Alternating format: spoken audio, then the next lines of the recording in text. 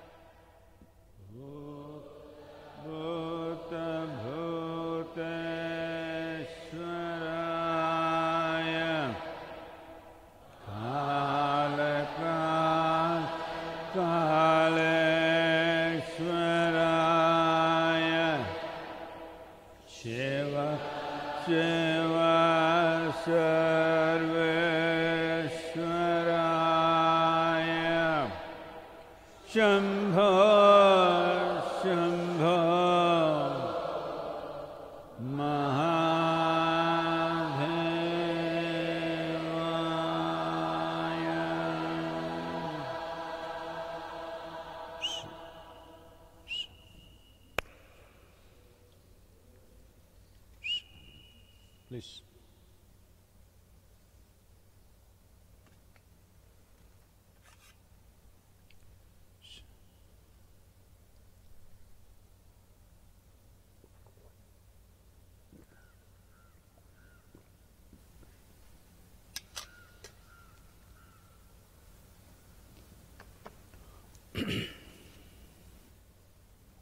നമസ്കാരം നമസ്കാരം നിങ്ങൾ എവിടെയാണെങ്കിലും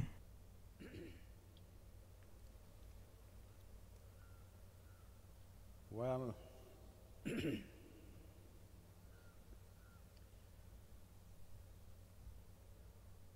നിങ്ങൾക്കെല്ലാവർക്കും അറിയാവുന്നതുപോലെ തന്നെ uh, ഇന്ത്യയിൽ ബാധിക്കപ്പെട്ടവരുടെ എണ്ണം നല്ല രീതിയിൽ നിയന്ത്രണത്തിലാണ്. നമ്മുടെ ജനസാന്ദ്രതയ്ക്ക് എഴുന്നൂറ്റി മുപ്പത്തിയഞ്ച് ഒരു മോശം സംഖ്യയല്ല. പക്ഷേ അതിലൊരു ചെറിയ അവ്യക്തതയുണ്ട്. കാരണം ഉറപ്പായ കേസുകളൊക്കെ ഒരാഴ്ച മുമ്പാണ് ടെസ്റ്റ് ചെയ്യപ്പെട്ടത്. അതിനാൽ ഇത് സ്ഥിരീകരിക്കാൻ ആറ് മുതൽ ഏഴ് ദിവസം വരെ എടുക്കും. അതുകൊണ്ട് അത് അല്പം കൂടി കൂടുതലായേക്കാം. എന്നാൽ മറ്റു പല രാജ്യങ്ങളുമായി താരതമ്യപ്പെടുത്തുമ്പോൾ ഇത് വളരെയധികം നിയന്ത്രണത്തിലാണ്. സമൂഹമാകെ വ്യാപിക്കുന്നതിന് മുമ്പ് ഉചിതമായ സമയത്ത് തന്നെ നമ്മൾ ലോക്ക്ഡൗണിലേക്ക് പോയി എന്ന് ഞാൻ കരുതുന്നു. എന്നിരുന്നാലും ഇതുവരെ സ്ഥിരീകരിച്ച കേസുകൾ എവിടെ നിന്നാണ് വരുന്നതെന്ന് കണ്ടെത്താനാകുന്നുണ്ട്. ഇവരിൽ ഭൂരിഭാഗവും വിദേശയാത്ര നടത്തി വന്നവരാണ്. നിർഭാഗ്യവശാൽ മറ്റു പല രാജ്യങ്ങളിലും ഇത് ഭ്രാന്തമായ അവസ്ഥയിലേക്കാണ് ഇത് പോകുന്നത്. യുണൈറ്റഡ് കിങ്ഡത്തിലെ പ്രധാനമന്ത്രിക്ക് പോലും ഇപ്പോൾ കൊറോണ വൈറസ് ഉണ്ടെന്ന് സ്ഥിരീകരിച്ചു. ചാൾസ് രാജകുമാരനും സ്ഥിരീകരിച്ചു. അതുകൊണ്ട് ദ്വീപിലുടനീളം അത് വ്യാപിക്കുന്നു. ന്യൂയോർക്ക് സിറ്റിയിൽ പതിനായിരത്തിലധികം ആളുകൾ. അതുകൊണ്ട് യു എസിൽ ഇപ്പോൾ ഭാഗികമായി ലോക്ക്ഡൗൺ ആണെന്ന് ഞാൻ കരുതുന്നു. അവർക്ക് സ്ഥലമുള്ളതിന്റെ ഒരു നേട്ടമുണ്ട്. പക്ഷേ യു കെയിൽ അതില്ല. സ്പെയിനിൽ മരണത്തിന്റെ അളവ് രണ്ടായിരത്തി മുന്നൂറിലധികം പോകുന്നു. ഇറ്റലി ഇപ്പോഴും പഴയതുപോലെ തന്നെ. അതുകൊണ്ട്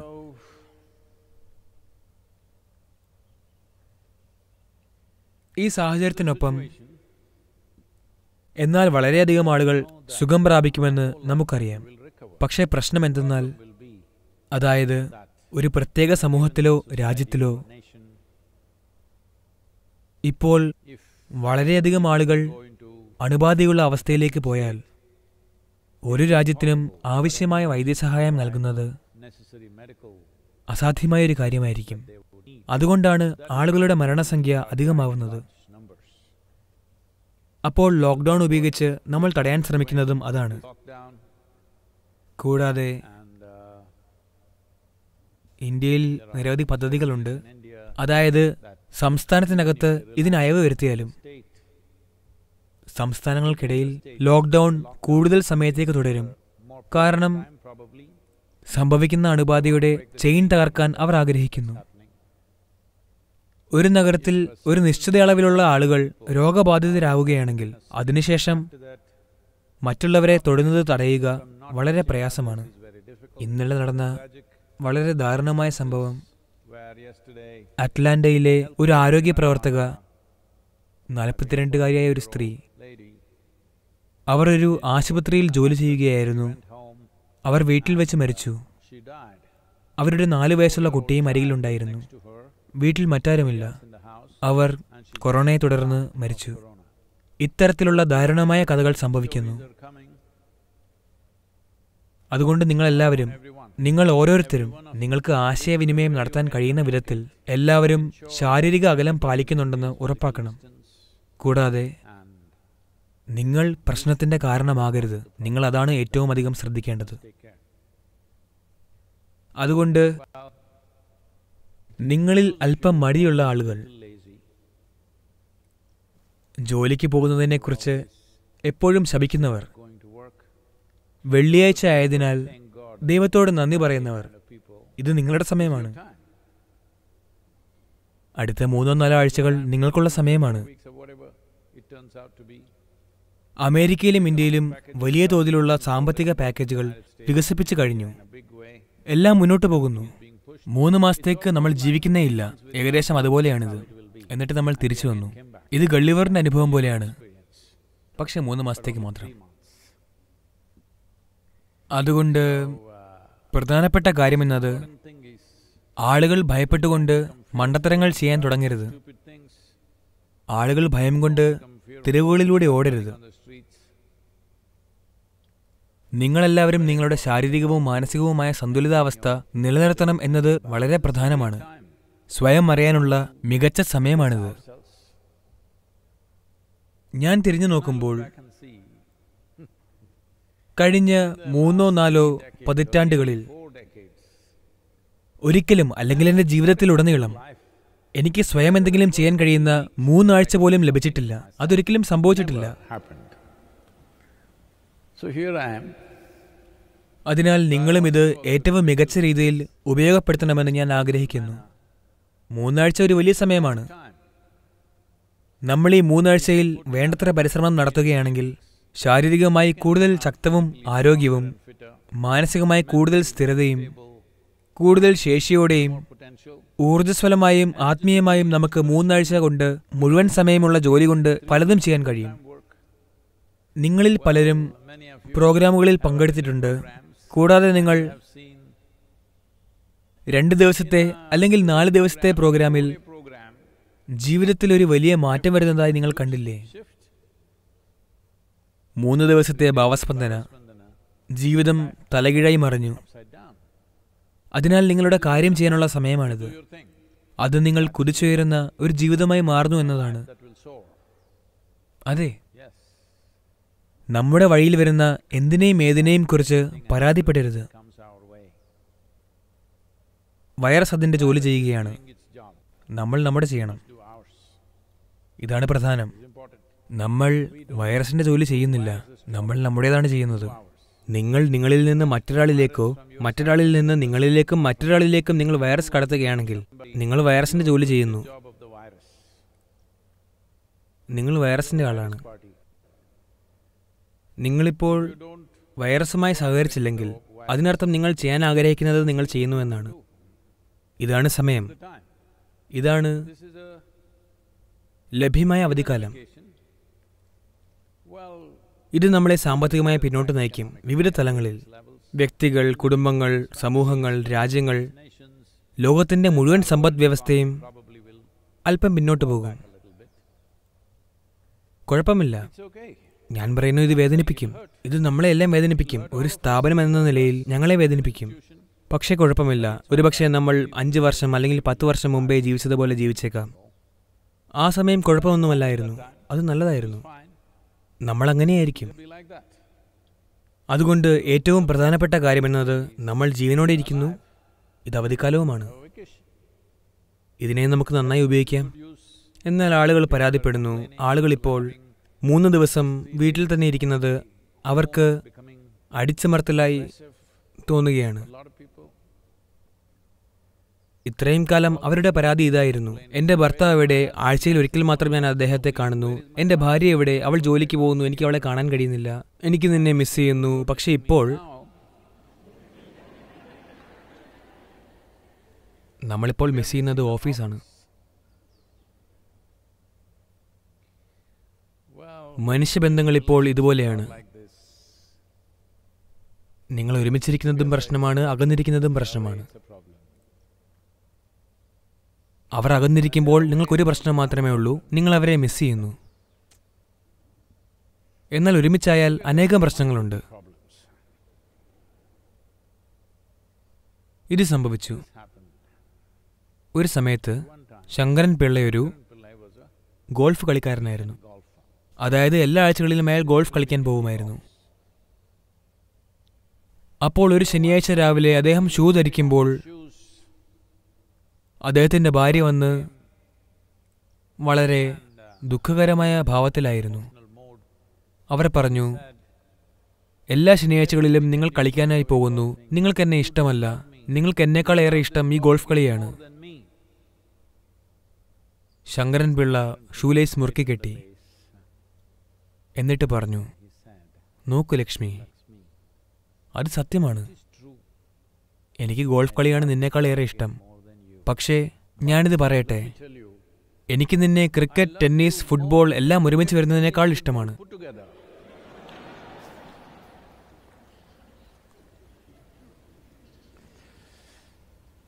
അപ്പോൾ ഇതാണ് സമയം.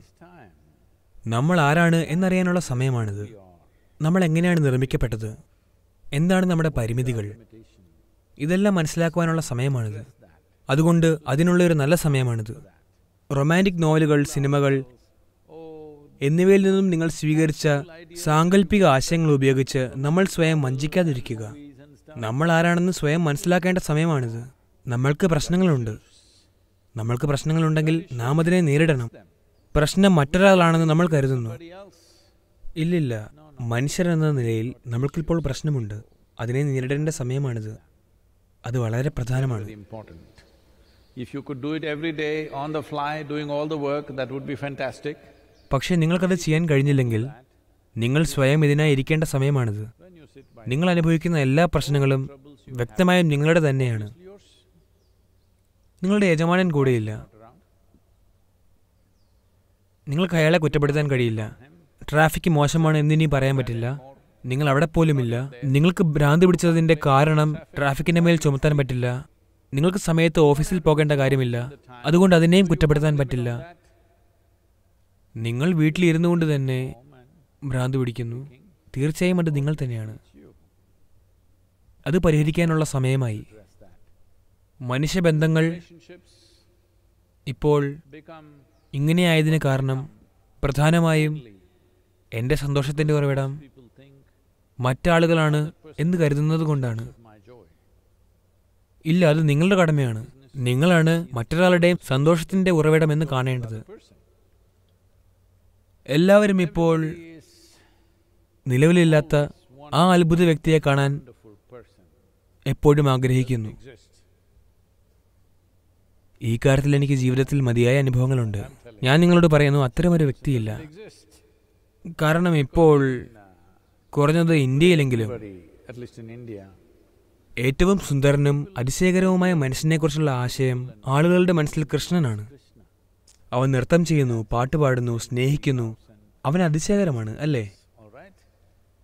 എന്നാൽ അദ്ദേഹത്തിന്റെ ഭാര്യമാർ അവരുടെ സമയത്ത് അനന്തമായി പരാതിപ്പെടുകയായിരുന്നു. അതുകൊണ്ട് അവന്റെ ഭാര്യമാർ പോലും പരാതിപ്പെടുകയായിരുന്നു. കാരണം മറ്റാരെങ്കിലും അത്ഭുതകരമായിരിക്കണമെന്ന് നിങ്ങൾ എപ്പോഴും കരുതുന്നു. ഇതാണ് സമയം. ഈ മൂന്നാഴ്ചകൾ ഒരു നല്ല സമയമാണ്. നിങ്ങൾ കണ്ടുമുട്ടാൻ ആഗ്രഹിക്കുന്ന അതിശയകരമായ വ്യക്തിയായി നിങ്ങൾക്ക് മാറാൻ. മറ്റുള്ളവരായി തീരുമെന്ന് നിങ്ങൾ പ്രതീക്ഷിക്കുന്ന ആ അത്ഭുത വ്യക്തിയായി നിങ്ങൾ മാറൂ. ഇതാണ് അവസരം. നിങ്ങൾ ആ അത്ഭുത വ്യക്തിയായി മാറുകയാണെങ്കിൽ മറ്റുള്ളവർക്കും അത് ആസ്വദിക്കാൻ കഴിയും. പക്ഷെ അതിലുമുപരി നിങ്ങളത് ആസ്വദിക്കുന്നു. അതാണ് ഏറ്റവും പ്രധാനപ്പെട്ട കാര്യം. നിങ്ങൾ ഇവിടെ ഇരിക്കുകയാണെങ്കിൽ നിങ്ങളിപ്പോൾ ഒരു അത്ഭുത മനുഷ്യനാണെങ്കിൽ നിങ്ങളത് ആസ്വദിക്കുന്നു. മറ്റുള്ളവർക്കും ഇത് ആസ്വദിക്കാൻ കഴിയും. അത് അതിശയകരമാണ്. പക്ഷെ അവർ കൂടെയില്ലെങ്കിൽ അതിശയകരമായ ഒരു മനുഷ്യനായി നിങ്ങൾ ആസ്വദിക്കുന്നു. നിങ്ങൾ നിങ്ങളെല്ലായ്പ്പോഴും ഒരു അത്ഭുത മനുഷ്യന്റെ കൂടെയാണ്. ഇത് എല്ലാവരും ചെയ്യേണ്ടതാണ്.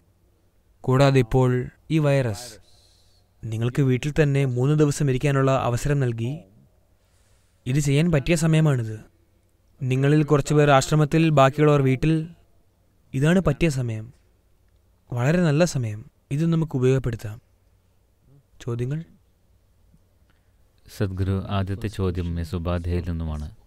നമസ്കാരം സദ്ഗുരു. ധ്യാനലങ്കയെക്കുറിച്ച് സംസാരിച്ചപ്പോൾ അങ്ങ് സൂചിപ്പിക്കുകയുണ്ടായി. എവിടെയാണെങ്കിലും അങ്ങയ്ക്ക് അതുമായി ബന്ധമുണ്ടെന്ന്. കഴിഞ്ഞ കുറേ മാസങ്ങളായി ഞാൻ ലോകത്തിന്റെ ഏത് ഭാഗത്താണെങ്കിലും ഇരുപത്തിനാല് മണിക്കൂറും അനുഭവിക്കാൻ എനിക്ക് വളരെ തീവ്രമായ ആഗ്രഹമുണ്ടാവുന്നു. അങ്ങയുടെ ലൈവ് ആയിട്ടുള്ള സാന്നിധ്യം. ഇത് സാധ്യമാക്കാൻ എനിക്ക് എന്തെങ്കിലും ഒരു ഉപായം അങ്ങയ്ക്ക് പറഞ്ഞു തരാനാകുമോ ലൈവ് എന്നാൽ എന്താണ് നിങ്ങൾ ഉദ്ദേശിക്കുന്നത്? ഞാൻ എപ്പോഴും വെബ് സ്ട്രീമിൽ ഉണ്ടാവണമെന്നാണോ? കാരണം ഇപ്പോൾ ലൈവ് എന്നാൽ അതിനർത്ഥം ഞാൻ ജീവനോടെയുണ്ട് എന്നല്ല. ലൈവ് എന്നാൽ ഞാൻ ഓൺലൈനിലാണെന്നാണ്. അതുകൊണ്ട് നമുക്കിത് മനസ്സിലാക്കാം.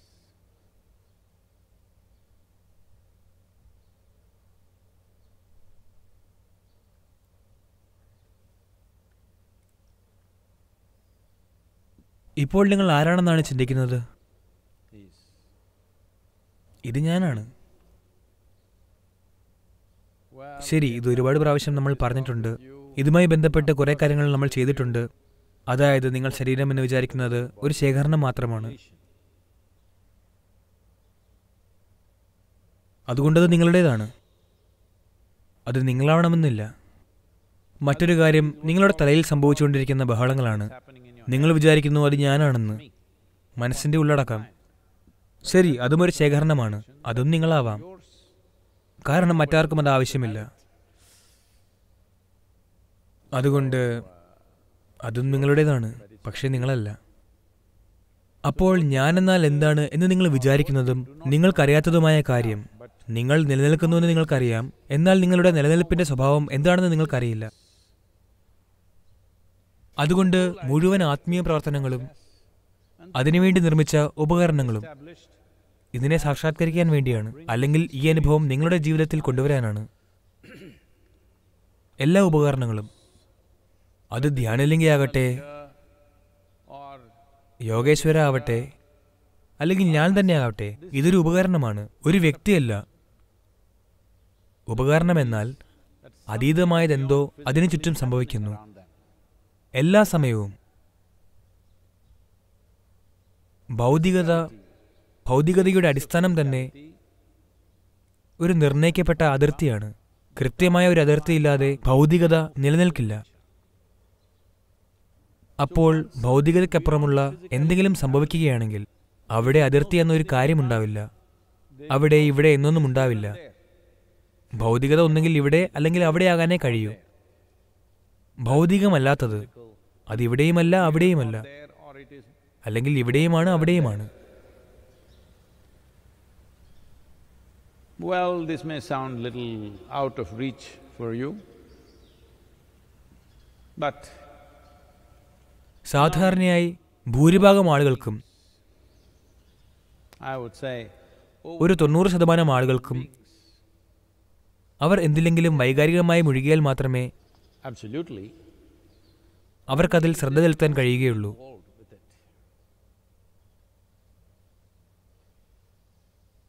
വൈകാരികതയുടെ ആവശ്യമില്ലാതെ തന്നെ അതിൽ പൂർണമായും ശ്രദ്ധ ചെലുത്താൻ കഴിയുന്ന ആളുകൾ വളരെ കുറവാണ്.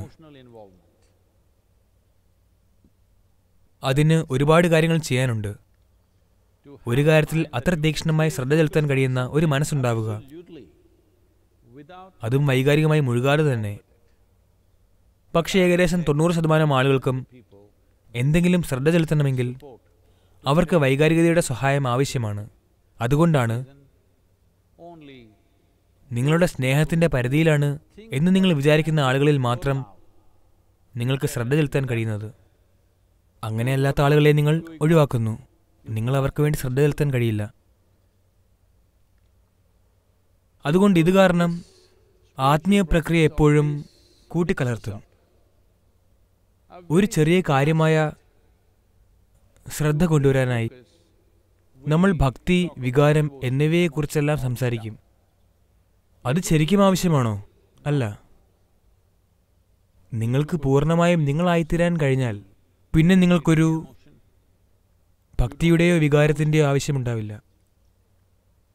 വെറുതെ ഇവിടെ ഒരു വഴിയെന്ന പോലെ ഇരിക്കുക. നിങ്ങൾക്ക് ഈ പ്രപഞ്ചത്തിന്റെ ഊർജവുമായി സ്പന്ദിക്കാൻ കഴിയും. പക്ഷേ അത് വളരെ ചെറിയ സംഖ്യയിലുള്ള ആളുകളാണ്. മറ്റുള്ളവർക്ക് എന്തെങ്കിലും അവരുടെ ഹൃദയത്തിൽ പിടിക്കണം. അല്ലാത്ത പക്ഷം അവർ ആ ദിശയിലേക്ക് നോക്കില്ല. അവർ കുറച്ച് നിമിഷങ്ങൾ നോക്കും ശേഷം അവർ അവിടെയും ഇവിടെയും എല്ലായിടത്തുമായി പോകും. അവർ വൈകാരികമായി ഇടപെടുന്നിടത്ത് മാത്രമേ അതിലേക്ക് സ്ഥിരമായി ശ്രദ്ധ കേന്ദ്രീകരിക്കാൻ അവർക്ക് കഴിയുള്ളൂ. നിങ്ങൾക്ക് വൈകാരികമായി പ്രാധാന്യമുള്ളത് എന്തും നിങ്ങളുടെ മനസ്സിന്റെ കേന്ദ്ര ബിന്ദുവാകുന്നു അതിനാൽ ഇതൊരു അത്ഭുതകരമായ ഉപകരണമാണ്. അതുകൊണ്ടാണ് ഈ ഘടനയിലേക്ക് ഞങ്ങൾ വികാരത്തെ കൊണ്ടുവന്നത്. ഒരിക്കൽ നിങ്ങൾ വികാരങ്ങൾ കൊണ്ടുവന്നു കഴിഞ്ഞാൽ നിങ്ങൾക്ക് വികാരങ്ങൾ അറിയാം. അതങ്ങനെയാണ്. കാരണം അതങ്ങനെയാണ്. വഴിതിരിച്ചു വിടുക എന്നത് ഒരു വലിയ വെല്ലുവിളിയാണ്. അനാവശ്യമായി ഒരു സങ്കീർണമായി തോന്നുന്നു. കാരണം ഓരോ വ്യക്തിയും അവരുടേതായ രീതിയിൽ വ്യാഖ്യാനിക്കാൻ തുടങ്ങുന്നു. ഓരോ വ്യക്തിയുടെ വൈകാരികതയും ഓരോ വ്യക്തിയുടെ വികാരവും അതിന്റെതായ രീതിയിൽ സവിശേഷമാണ്. അതിനാൽ ഈ കാര്യങ്ങളിൽ നിങ്ങൾ കൊടുങ്ങരുത്. മറ്റുള്ളവർ എന്ത് ചെയ്യുന്നു എന്നുള്ളത് നിങ്ങളെ വിഷമിപ്പിക്കരുത്. മറ്റൊരാൾക്ക് ഇതെങ്ങനെ സംഭവിക്കും? അതുകൊണ്ടാണ് ഈശയിൽ ആളുകൾ അവരുടെ ആത്മീയ അനുഭവങ്ങൾ പങ്കുവയ്ക്കുന്നതിൽ നിന്ന് ഞങ്ങൾ എല്ലായ്പ്പോഴും തടഞ്ഞത്. കാരണം മറ്റുള്ളവർ ആശയക്കുഴപ്പത്തിലാകും. ഞാൻ കിടക്കുകയാണ് എന്ന് നിങ്ങൾ പറഞ്ഞാൽ ഞാൻ ലോകത്തിന്റെ ഏതോ ഒരു ഭാഗത്ത് ചുമ്മാ കിടക്കുകയായിരുന്നു എന്ന് നിങ്ങൾ പറഞ്ഞാൽ അത് എവിടെയാണെങ്കിലും. മിസ്റ്റർ ആചാര്യ?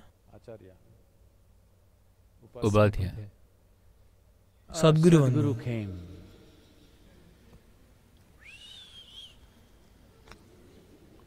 അതെനിക്ക് വളരെയധികം കുഴപ്പങ്ങൾ സൃഷ്ടിക്കും. കാരണം എല്ലാത്തരം ആളുകളും ഇപ്പോൾ വന്ന് സദ്ഗുരു വന്ന് അത് ചെയ്തു സദ്ഗുരു വന്ന് ഇത് ചെയ്തു എന്ന് പറയാൻ തുടങ്ങും. സാധാരണയായി ഇത് നല്ല കാര്യങ്ങളിൽ ആരംഭിക്കുന്നു. പിന്നെ കുറച്ച് കഴിയുമ്പോൾ അവർ ചെയ്യുന്ന എല്ലാ സംബന്ധങ്ങളും സദ്ഗുരുവിലായിരിക്കും. ഇപ്പോൾ അത് ദൈവത്തിന് സംഭവിക്കുന്നു. ഭാഗ്യവശാൽ അദ്ദേഹം ഇവിടെയില്ല അതിനാൽ നിങ്ങൾ അവനെ കുറ്റപ്പെടുത്തുന്നതിൽ കുഴപ്പമില്ല. പക്ഷെ നിങ്ങൾക്ക് അവനെ സമീപിക്കാൻ കഴിയില്ല. ഞാൻ പറയുന്നു കുറഞ്ഞത് നിങ്ങൾക്ക് അവനെ ശിക്ഷിക്കാൻ പോലും കഴിയില്ല. അതിനാൽ കുഴപ്പമില്ല. പക്ഷെ എല്ലാത്തിനും സംഭവിക്കുന്ന എല്ലാ അസംബന്ധങ്ങളും എനിക്ക് തോന്നുന്നു ദൈവം ആഗ്രഹിക്കുന്ന ഇതുപോലെയാണെന്ന്. അതുകൊണ്ടാണ് ഞാൻ ഈ മണ്ടത്തരങ്ങളെല്ലാം ചെയ്യുന്നത്. അപ്പോൾ ഈ ഒരു കാര്യം എന്നെപ്പോലെ ജീവിക്കുന്ന ഒരു വ്യക്തിയിൽ കേന്ദ്രീകരിക്കുകയാണെങ്കിൽ വളരെയധികം കുഴപ്പമാണ്. ഞങ്ങൾ എവിടെയായിരുന്നാലും സാന്നിധ്യം ലഭിക്കാൻ ഞങ്ങൾക്ക് കഴിയുമോ? തീർച്ചയായും. അല്ലെങ്കിൽ എന്താണ് ഇതിന്റെ പ്രസക്തി? പിന്നെ ഇത് ആത്മീയത സംസാരിക്കുക മാത്രമായിരിക്കും. ആത്മീയതയെക്കുറിച്ച് സംസാരിക്കുന്നത് അതിന്റെ ഏറ്റവും മികച്ച പ്രചോദനവും അതിന്റെ ഏറ്റവും മോശമായ വിനോദവുമാണ്. അത്രയുള്ളൂ കാര്യം. അതിനെക്കുറിച്ച് സംസാരിച്ച് സംസാരിച്ച് തുടക്കത്തിൽ പ്രചോദനം ആവശ്യമാണ്. എന്നാൽ നിങ്ങളുടെ ജീവിതത്തിലുടനീളം നിങ്ങൾക്ക് പ്രചോദനം ആവശ്യമുണ്ടെങ്കിൽ നിങ്ങൾ പാഴാണ്. പ്രചോദനം എന്നത് വാഹനത്തിന്റെ ഇഗ്നീഷൻ പോലെയാണ്. അത് എഞ്ചിൻ ആരംഭിക്കാൻ സഹായിക്കുന്നു. ഒരിക്കൽ നിങ്ങൾ വാഹനം ആരംഭിച്ചിട്ട് വീണ്ടും ഇഗ്നീഷൻ തിരിച്ചാൽ അത് വികൃതമായ ശബ്ദങ്ങൾ ഉണ്ടാക്കും. ആളുകൾക്കും ഇതുതന്നെയാണ് സംഭവിക്കുക. ഒരിക്കൽ അവർക്ക് മതിയായ പ്രചോദനം നൽകിയാൽ അവരെ പ്രചോദിപ്പിക്കേണ്ട ആവശ്യമേ ഇല്ല. അവർ മതഭ്രാന്തന്മാരാകും. നിങ്ങൾ ആളുകളെ പ്രചോദിപ്പിച്ചുകൊണ്ടേയിരിക്കുകയാണെങ്കിൽ അവർ ഭ്രാന്തന്മാരായിത്തീരും. അവർ ലോകത്തിലെ ഏറ്റവും യുക്തിരഹിതവും ഭയാനകവുമായ കാര്യങ്ങൾ ചെയ്യും. വളരെയധികം പ്രചോദനം. പ്രചോദനം ഇഗ്നീഷൻ പോലെയാണ്. ആളുകളെ തുടക്കത്തിൽ ഇത് സഹായിക്കുന്നു. ഒരു ചെറിയ ഉന്ത്. അതിനുശേഷം അത് കഴിഞ്ഞു. അതിനുശേഷം അവർക്ക് സമീപിക്കാൻ കഴിയുന്ന പ്രക്രിയകളും രീതികളും ഉണ്ടായിരിക്കണം. എന്തിനേക്കാളുമേറെ എങ്ങനെയെങ്കിലും ഏതെങ്കിലും വഴി പങ്കെടുപ്പ്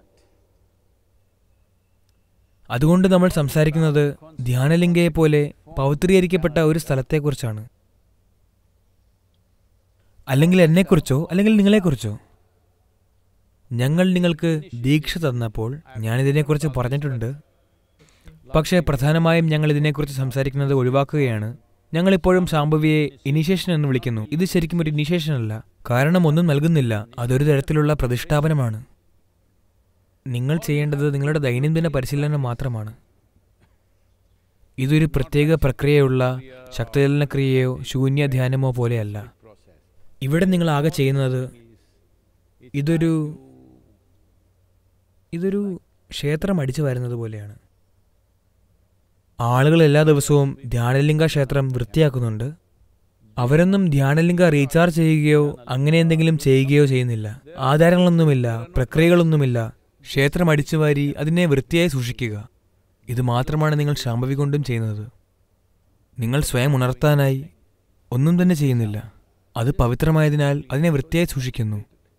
നിങ്ങളത് വൃത്തിയായി സൂക്ഷിച്ചില്ലെങ്കിൽ ഇപ്പോൾ നിങ്ങളുടെ ജനൽപ്പാളികൾ വൃത്തിയായി സൂക്ഷിച്ചില്ലെങ്കിൽ പെട്ടെന്ന് സൂര്യൻ പോലും വേണ്ടത്ര തെളിച്ചമുള്ളതായി തോന്നില്ല.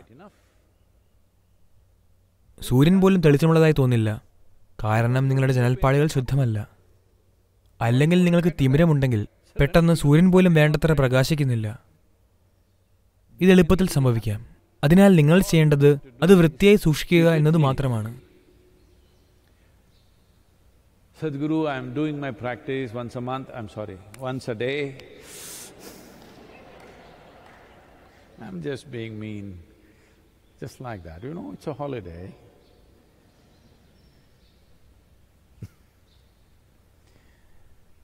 നിങ്ങൾ എല്ലാ ദിവസവും പരിശീലനം നടത്തുകയാണെങ്കിൽ ഒരു പരിധിവരെ അത് ശുദ്ധമാണ്. പക്ഷേ ബാക്കി ദിവസം നിങ്ങളിത് പൂർണമായും മറന്നേക്കാം. അതിനാൽ നിങ്ങൾക്ക് ചെയ്യാൻ കഴിയുന്ന ഒരു ലളിതമായ കാര്യം എന്തെങ്കിലും എന്തും. ഒരുപക്ഷെ ഒരു ചിത്രം ഒരുപക്ഷെ ഒരു മന്ത്രം ഒരുപക്ഷെ ശബ്ദം ഒരുപക്ഷെ നിങ്ങളുടെ ഫോണിലെ റിമൈൻഡർ എന്തും ഉപയോഗിക്കുക. മാനസികമായും വൈകാരികമായും ഒരു ദിവസത്തിൽ കഴിയുന്നത്ര തവണ നിങ്ങൾ ആ തലവുമായി ബന്ധപ്പെടുക. അതായത് നിങ്ങൾ കണ്ണുകളടയ്ക്കുമ്പോൾ അത് മാത്രമേ ദൃശ്യമാകൂ. ഇപ്പോൾ തന്നെ സിനിമാ താരങ്ങളും മറ്റുള്ളവരുമൊക്കെ പ്രത്യക്ഷപ്പെടുന്നു. അതുകൊണ്ട് നിങ്ങൾക്കത് അനുഭവപ്പെടുന്നില്ല. അതിവിടെ ഇല്ല. പരിശീലനം അനുഭവപ്പെടുമ്പോൾ അത് അനുഭവപ്പെടുമെന്ന് കാണുക. പകൽ നിങ്ങൾക്കത് അനുഭവപ്പെടുന്നില്ല. കാരണം നിങ്ങൾ മറ്റു കാര്യങ്ങളെ മനസ്സിലാടാൻ അനുവദിക്കുന്നു. ഐറ്റം നമ്പറുകളെ. അതിനാൽ നിങ്ങൾ എന്തും ചെയ്യുക. നിങ്ങൾ ആഗ്രഹിക്കുന്നത് എന്തും ഉപയോഗിക്കുക. ഒരുപക്ഷെ ഫോണിലെ ഒരു ഓർമ്മപ്പെടുത്തൽ ഒരുപക്ഷെ നിങ്ങൾ നോക്കുന്ന ഒരു ചിത്രം അല്ലെങ്കിൽ ഫോൺ സ്ക്രീൻ ഒരു സ്ക്രീൻ സേവർ അല്ലെങ്കിൽ ഒരു മന്ത്രം. നിങ്ങൾ മന്ത്രം ചൊല്ലുകയോ മന്ത്രം കേൾക്കുകയോ ചെയ്യാം. ഇതെല്ലാം നമ്മൾ ചെയ്യുന്നതിന് കാരണം മാനസികമായും വൈകാരികമായും നിങ്ങളെ ഒരു ദിശയിലാക്കാനാണ്. നിങ്ങളിത് വളരെയധികം ചെയ്താൽ സാന്നിധ്യം വളരെ ശക്തമാകും. ഇപ്പോഴും അവിടെയുണ്ട്. പക്ഷേ തിമിരമുള്ളതിനാൽ നിങ്ങൾ എങ്ങനെ കാണും?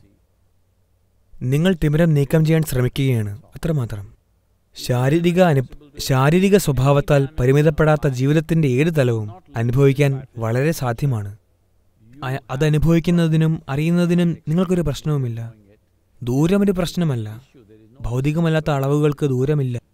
ദൂരം ശാരീരികതയുടെ ഒരു പ്രകടനം മാത്രമാണ്. ഒരു ഇഞ്ചുണ്ടെങ്കിൽ ഒരു മൈലുണ്ട്. ഒരു മൈലുണ്ടെങ്കിൽ പതിനായിരം മൈലുണ്ട്. അതങ്ങനെയാണ്.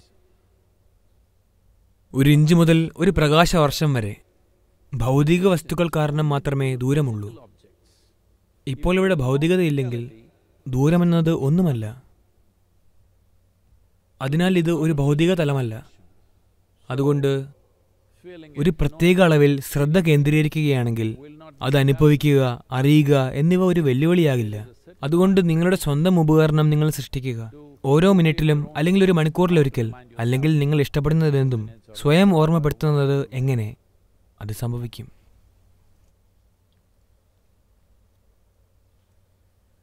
സദ്ഗുരു അടുത്ത ചോദ്യം സോണിയിൽ നിന്നുമാണ്. നമസ്കാരം ഗുരുജി. ഞാൻ ബേർലിനിൽ നിന്നുമാണ്. പുറത്ത് നിശബ്ദത കൂടുമ്പോൾ എനിക്കുള്ളിൽ ബഹളങ്ങൾ കൂടിക്കൊണ്ടിരിക്കുകയാണ്. ആന്തരിക ശബ്ദങ്ങളെയും സ്പന്ദനങ്ങളെയും കുറിച്ച് അങ്ങേക്കൊന്ന് വിശദീകരിക്കാൻ കഴിയുമോ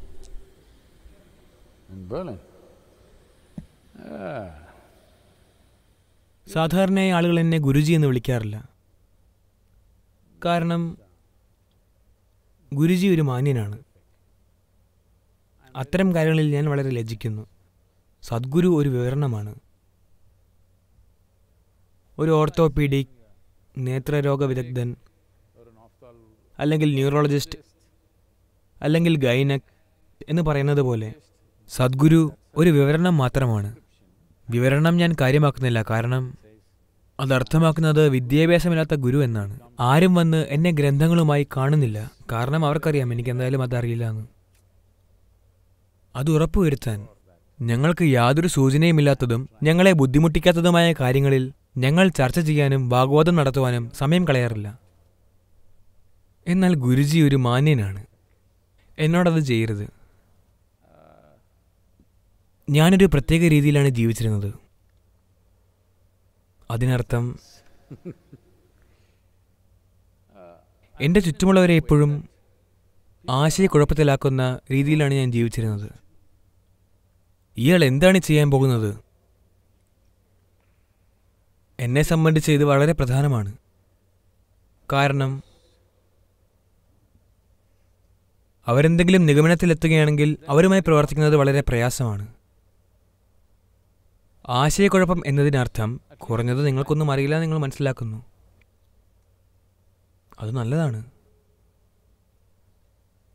ഇപ്പോൾ വളരെ ആഴമുള്ള അനുഭവത്തിലൂടെ ആരെങ്കിലും അറിയുകയാണെങ്കിൽ അതെനിക്ക് കുഴപ്പമില്ല.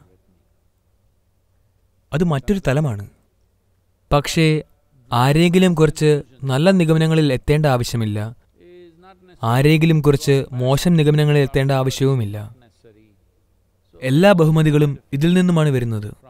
ആളുകൾ മറ്റുള്ളവരെക്കുറിച്ച് നല്ല നിഗമനങ്ങളിൽ എത്തിച്ചേരുമ്പോൾ. ഞാൻ ആരാണ് എന്നുള്ളതിന്റെ മൂല്യം. നിങ്ങൾ എന്നെ വെറുതെ നോക്കുമ്പോൾ നിഗമനങ്ങളിലേക്കൊന്നും എത്താതെ നിങ്ങൾ കാണും. നിങ്ങൾ വളരെ ആശയക്കുഴപ്പത്തിലാകും.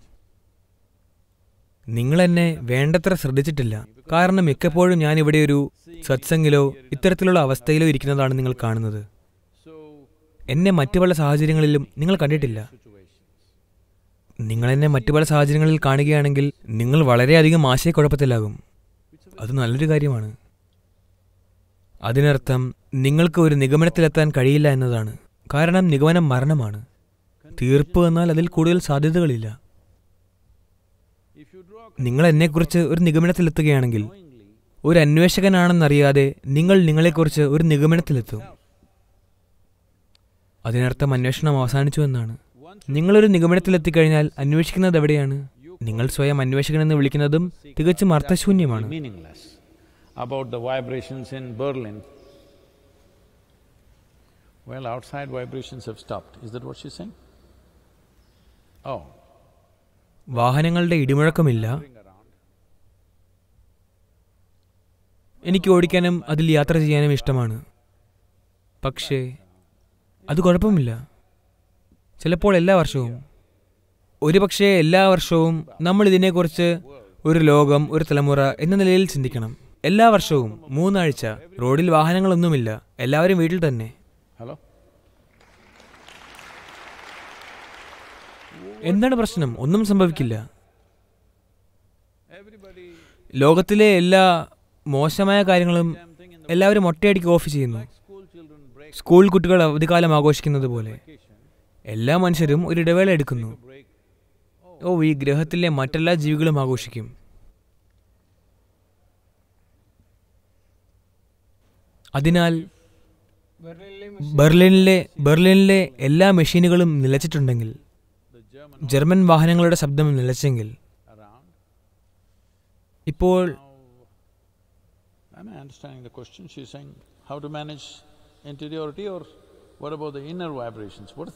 ആന്തരിക ശബ്ദങ്ങളെയും സ്പന്ദനങ്ങളെയും കുറിച്ച് ഒന്ന് വിശദീകരിക്കാമോ ഇതിൽ പറയുന്നു പുറത്ത് നിശബ്ദമാണ് പക്ഷേ ഉള്ളിലെ ശബ്ദങ്ങൾ കൂടിക്കൂടി വരികയാണ്.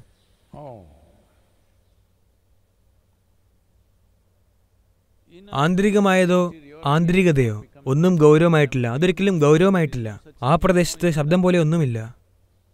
ഇത് ഇത്രയേ ഉള്ളൂ. നിങ്ങൾക്ക് തിരക്കില്ലാത്തതിനാൽ നിങ്ങളുടെ മനസ്സ് മുൻതൂക്കം തേടുന്നു. മിക്ക ആളുകളും സാധാരണയായി അവർ തിരക്കിലാണെന്ന് കരുതുന്നു. പക്ഷേ നിങ്ങൾ അവരുടെ ജീവിതം നോക്കുകയാണെങ്കിൽ അറുപത് ശതമാനം സമയവും അവർ പല ചിന്തകളിലാണ്. ഇതൊരു കിടാവ് ചവയ്ക്കുന്നത് പോലെയാണ്. നിങ്ങൾക്കറിയാമോ? ഇന്നലെ സംഭവിച്ചതെന്തോ അത് നിങ്ങൾ ഇന്നും ചവയ്ക്കുകയാണ്. ഈ സൗകര്യം നിങ്ങളുടെ ശരീരത്തിലില്ല. പശുക്കൾ ആടുകൾ ചെമ്മരിയാടുകൾ അവയ്ക്കെല്ലാം ഈ സൗകര്യമുണ്ട്. അവയ്ക്കിന്ന് ഭക്ഷണം കഴിക്കാം. ഏതാനും മണിക്കൂറുകൾക്ക് ശേഷം അവ തിരികെ കൊണ്ടുവന്ന് ചവച്ചരച്ച് കഴിക്കാം. അത്തരമൊരു സൗകര്യം നിങ്ങളുടെ ശരീരത്തിൽ നൽകിയിട്ടില്ല. അതിനാൽ നിങ്ങൾ നിങ്ങളുടെ മനസ്സിലൊന്ന് സൃഷ്ടിച്ചു. ഇതൊരു പരിണാമ പ്രശ്നമാണ്. നാല് കാലുള്ള അവസ്ഥയിൽ നിന്ന് നിങ്ങൾ പുറത്തു വരാൻ തയ്യാറല്ല. ഇന്നലെയുടെ ബാക്കി നിങ്ങൾ അയവിറക്കാൻ ആഗ്രഹിക്കുന്നു. In the southern Indian uh, mysticism and yoga, we look at people കൂടാതെ അവർ സന്തോഷത്തിലാണെങ്കിലും ദുരിതത്തിലാണെങ്കിലും അത് കഴിഞ്ഞകാലം എന്തോ സംഭവിച്ചതുകൊണ്ടാണ് കഴിഞ്ഞകാല പ്രവർത്തികൾ കാരണം അവരിപ്പോൾ എന്തിലെങ്കിലും സന്തോഷിക്കുന്നു പക്ഷേ ഇപ്പോൾ തികച്ചും വ്യത്യസ്തമായ എന്തെങ്കിലും ചെയ്യുന്നുവെന്ന് അവർ മനസ്സിലാക്കുന്നില്ല. അതായത് അവർ മുൻകാല ആനുകൂല്യങ്ങൾ ആസ്വദിക്കുകയാണ് അത് എപ്പോൾ വേണമെങ്കിലും തീർന്നു പോയേക്കാം. ഞങ്ങൾ പറയും അയ്യോ പഴയ സാദം പഴയ സാദം എന്നാൽ പഴയ ഭക്ഷണം. ഇത് പഴയ ഭക്ഷണമാണ്. പഴയ ഭക്ഷണം ആസ്വദിക്കുന്നു. ഇന്നലെ ഞങ്ങൾ ഇത് കഴിച്ചപ്പോൾ ഊർജത്തിന്റെയും ശക്തിയുടെയും കാര്യത്തിൽ ഇപ്പോഴും നമ്മുടെ ശരീരത്തിൽ പ്രവർത്തിക്കുന്നു. അതുപോലെ ഞങ്ങൾ ഇന്നലെ അല്ലെങ്കിൽ പത്ത് വർഷം മുമ്പ് അല്ലെങ്കിൽ ഒരു ജീവിതകാലം മുമ്പ് ചെയ്തത്. ഒരുപക്ഷെ ഇപ്പോഴും ഞങ്ങൾ അതിൽ നിന്നും പ്രയോജനം നേടുന്നു. ഇത് മെച്ചപ്പെടുത്തുവാനായി നിങ്ങൾ എന്തെങ്കിലും ചെയ്തില്ലെങ്കിൽ ഇത് ഇത് തീർന്നു പോകും. പഴയ ഭക്ഷണം കുറച്ച് കഴിയുമ്പോൾ ചീഞ്ഞു പോകും. വളരെ അത്ഭുതകരമായത് കുറച്ച് സമയത്തിന് ശേഷം വളരെ മോശമായി തീരും. ഈ ലോകത്തിലെ വിജയകരമായ ആളുകൾ നിരവധി ആളുകൾ ഇതിലൂടെ കടന്നുപോകുന്നു അവരുടെ ജീവിതത്തിന്റെ വിവിധ ഘട്ടങ്ങളിൽ അവർ ഫലങ്ങൾ ആസ്വദിക്കും. കഴിഞ്ഞ കാലത്തിലെ കർമ്മങ്ങളും.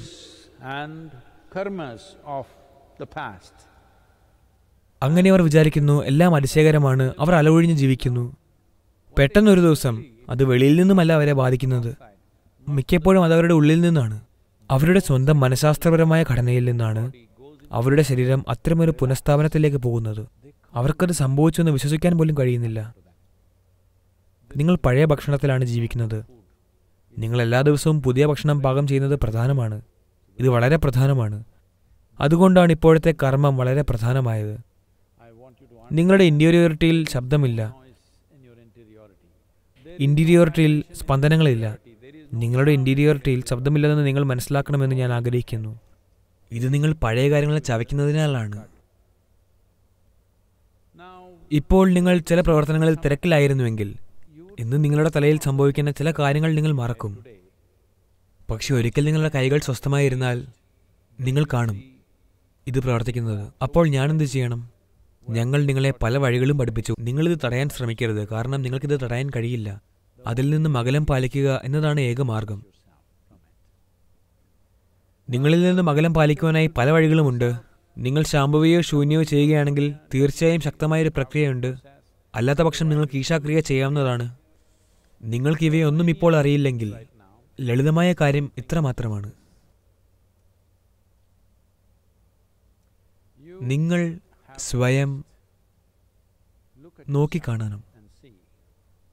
ഈ അനന്തമായ അസ്തിത്വത്തിൽ നിങ്ങളൊരു ചെറിയ സൃഷ്ടിയാണ്. അത് എവിടെ നിന്ന് ആരംഭിക്കുന്നു എവിടെ അവസാനിക്കുന്നു എന്ന് നിങ്ങൾക്കറിയില്ല. ഒരു ഗ്രഹത്തിന്റെ ഈ ചെറിയ ചെളിപ്പന്തിൽ നിങ്ങൾ ഇവിടെ ഇരുന്ന് നിങ്ങൾ പ്രപഞ്ചത്തിന്റെ കേന്ദ്രമാണെന്ന് കരുതുന്നു. ഇതൊരു മണ്ടനാശയമാണ്.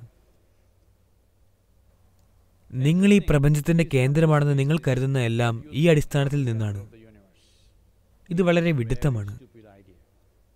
ഈ വിഡിത്ത ആശയത്തിൽ നിന്ന് നിരവധി വിഡിത്ത ആശയങ്ങൾ വന്നിട്ടുണ്ട്. അത് നിങ്ങളുടേതാണ്. അത് സാമൂഹികമായി ബുദ്ധിപരമായി കണക്കാക്കപ്പെടുന്നു. അതിനാൽ നിങ്ങളുടെ ചിന്തകളെ വലിയ പ്രപഞ്ചത്തിന്റെ പശ്ചാത്തലത്തിൽ നോക്കുക. ഇപ്പോൾ ഈ വൈറസ് നിങ്ങളെ അപായപ്പെടുത്തുന്നു.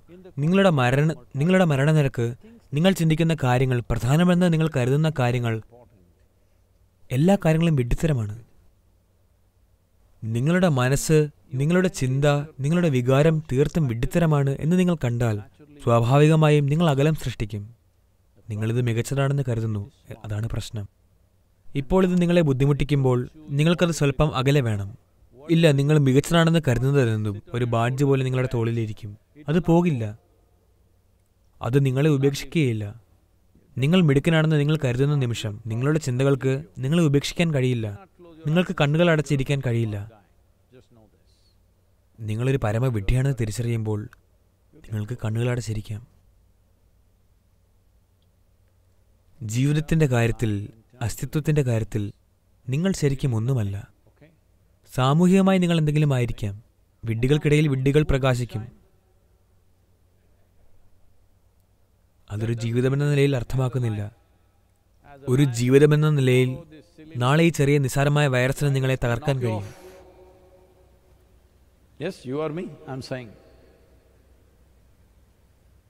അതിന് ശരിക്കും നിങ്ങളെ തകർക്കാൻ കഴിയും.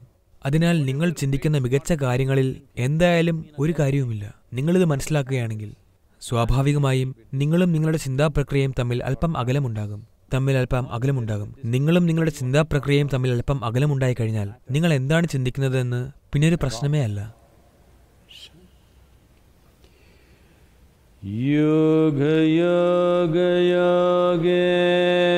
യോഗയോഗയോഗേശ്വരായ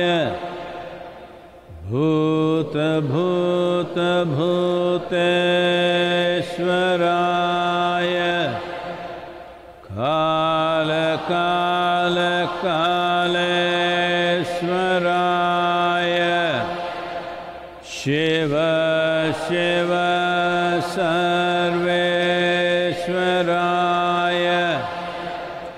शम्भो शम्भो